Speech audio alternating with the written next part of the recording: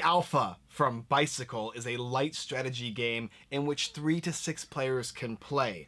It takes about 45 to 60 minutes and is for ages 10 and up. And what you're doing is you're gathering a wolf pack. Each player is going to get a den as well as a token that will allow them to fight or share. And the reason they're going to be doing this is because they're going to be trying to go for animals throughout the game. Are you going to be hunting the illustrious moose or are you going to go for something a little more reasonable and try and get the fish?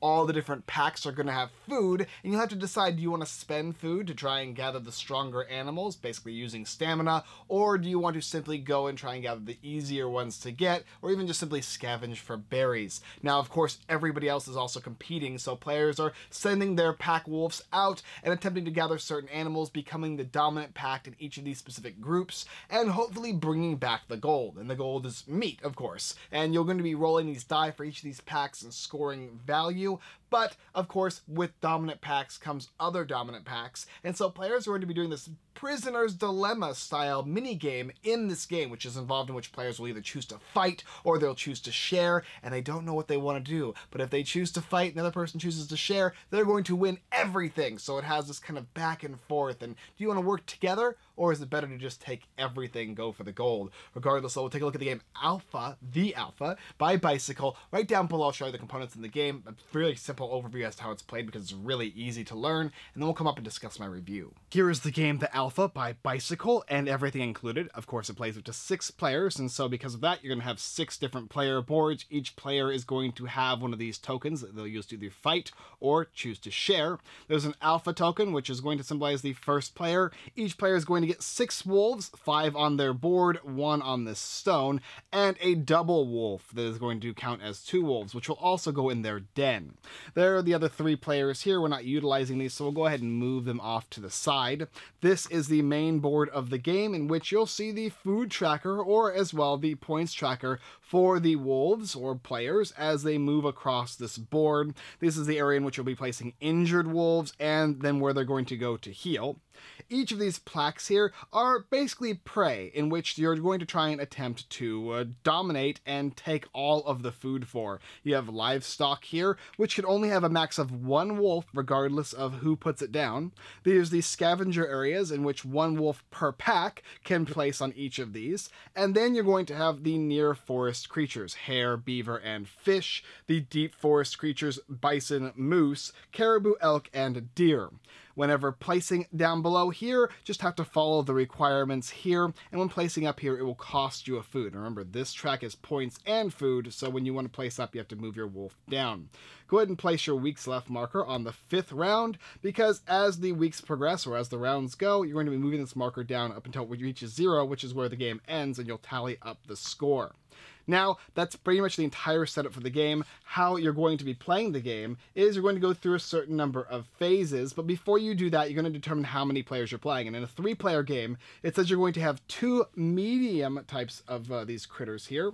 You're going to have uh, two small, and then you're going to have uh, one, one scavenge. Okay, so one scavenge, uh, two small, these are the medium, so two medium, and I guess you're going to have let me see. Any one large? No, no large in a three-player game. So you actually remove both of these. But we'll just go ahead and leave one just to show you. So then we've removed basically what we need to remove. We've kept the rest. We're going to move on to the, the phases, in which case the alpha is going to go first. There is five phases in the game. You have the stock phase, dominance, chase, resolve, and advance. During the stock phase, players are going to simply go back in for, go in a clockwise order, placing these guys down onto either the lower near forest animals, scavenge, or livestock area, or in the deep forest area. And like I said before, when you place in the deep forest, you're simply going to spend a food.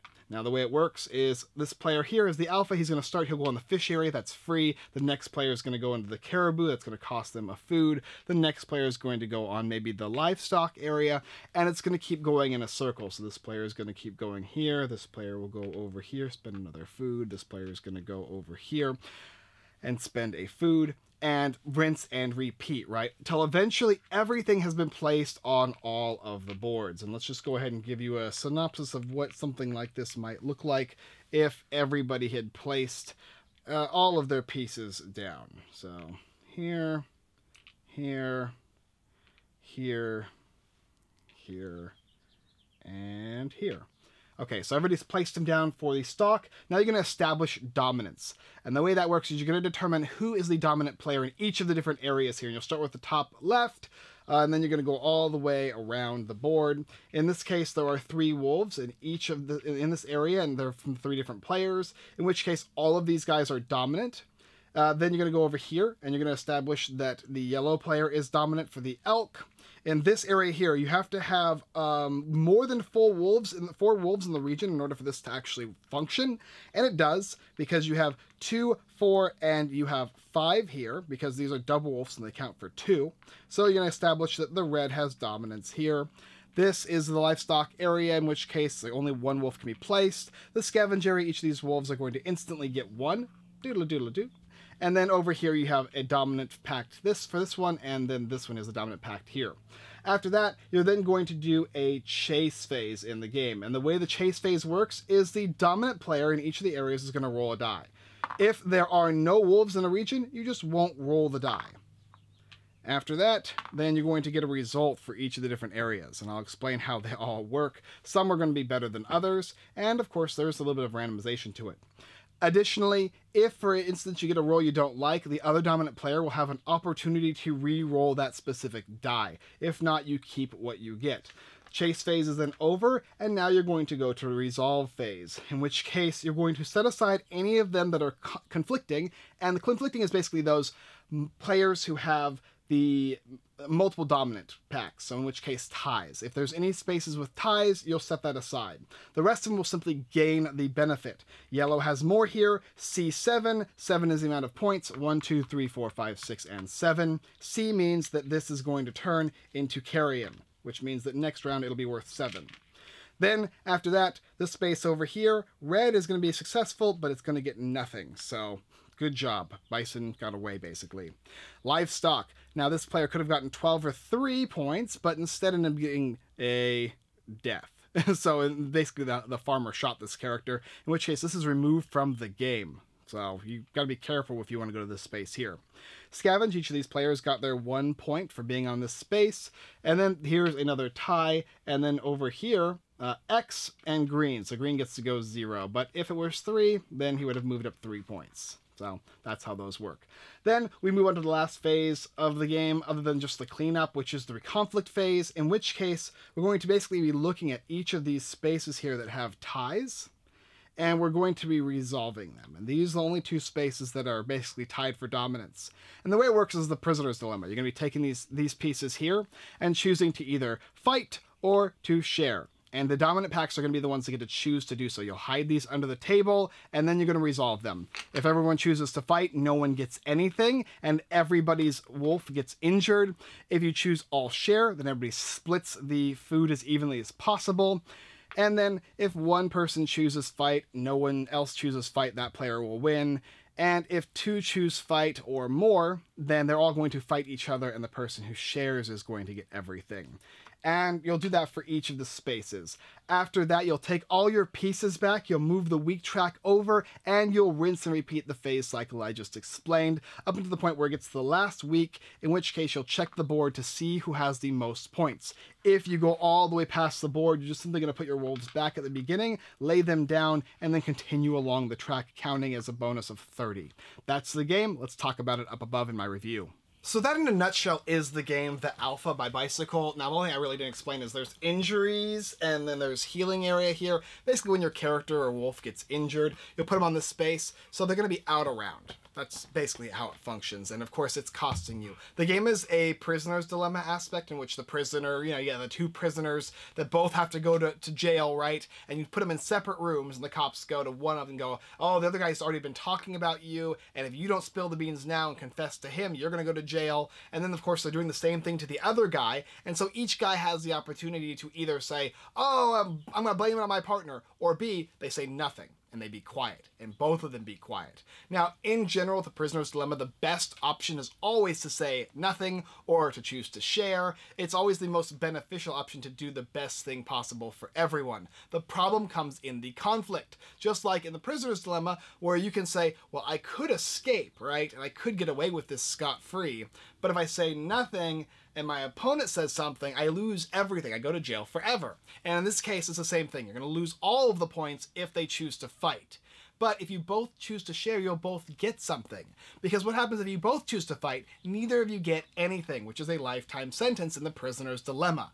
And so it has that interesting interaction. And a lot of games have that interaction, and this one I think works really, really well for the type of game this is. Not only that, but based on how you choose to place your different wolves out will determine whether or not you have to have that interaction, and with how many players. The game is quick and it's very, very simple. You're going to be placing your wolves down, you're going to be rolling the die, dominant packs get all the stuff. If there's a tie, have a conflict, and then players are going to simply go ahead and use their conflict tools to resolve it, in which case hopefully you get either everything or share, because getting nothing is the worst case scenario in the game. It's a swingy game. It's random.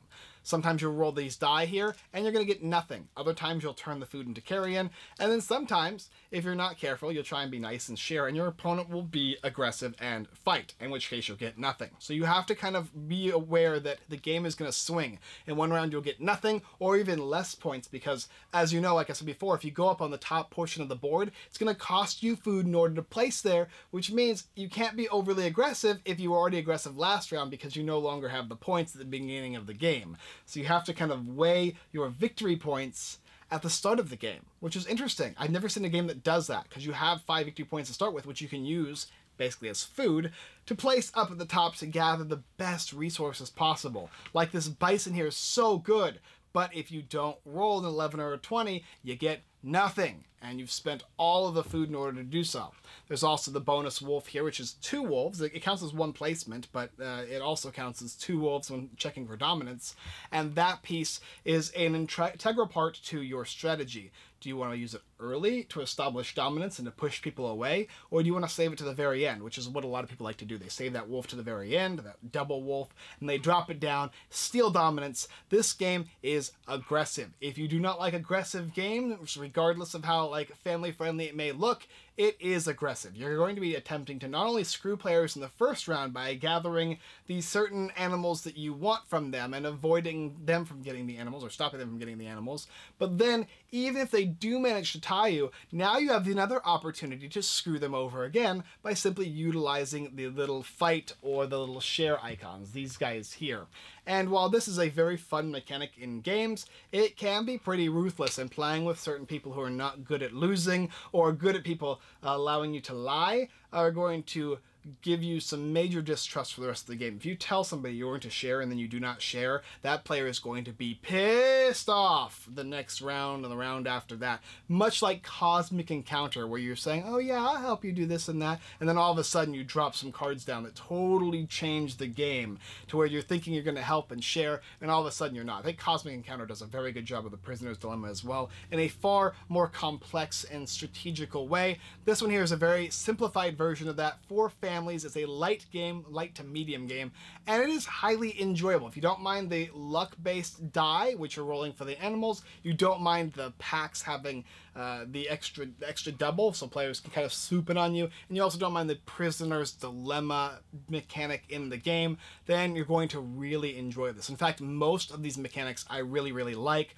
Uh, the only thing, of course, in this game is if you go first, it's going to be the person who has the most points, right? And the alpha is going to pass every round.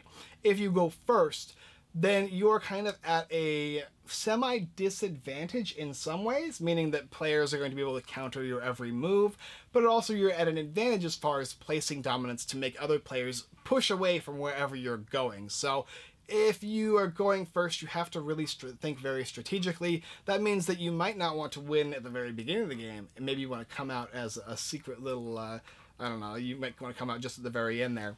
On the livestock, this is the last one I talk about. You're using this is is very very dangerous. Yes, you can get 12 points or even 3, which is okay, but in any other result, you're going to lose a wolf for the rest of the game. This is something I would suggest you do at the very end of the game if you're behind and you're looking for a Hail Mary in which case maybe you'll get that 12 points and win, but otherwise avoid it. Another interesting thing is you're going to have the scavenge tokens, uh, scavenge ones, which give you one point and no conflict. So you never fight on these spaces ever, just like you wouldn't fight in the livestock space because only one wolf is ever presented there. So wolves here kind of gathering at the watering pool and just gathering a free point. These can make the difference in the game. I really, really enjoyed the alpha. I think this is probably my favorite game from Bicycle so far. I haven't played their other one that's out. Uh, the embargo just lifted for this game probably a, couple, a day or so ago, so I'm going to be putting this one out fairly soon so you guys get to see this brand new game by Bicycle that you can go ahead and check out and purchase in the link in the description down below. Overall, excellent artwork, high quality boards that are thick, the die are nice, and they have different colors that function with the different boards. All of the meeples, or I should say woofles, Weefles? Waffles are really, really great as well, and everything feels good. They did a great job of the insert inside of the box as well as how the box feels. This was excellent production quality with a very nice set of uh, packing setup, so it's very easy to put together, put up, and set up and whatnot. I really like the alpha. Take a look down below if this game interests you. I strongly encourage you to do so, provided you don't mind uh, you don't mind uh, having a little fight or sharing action going throughout the game.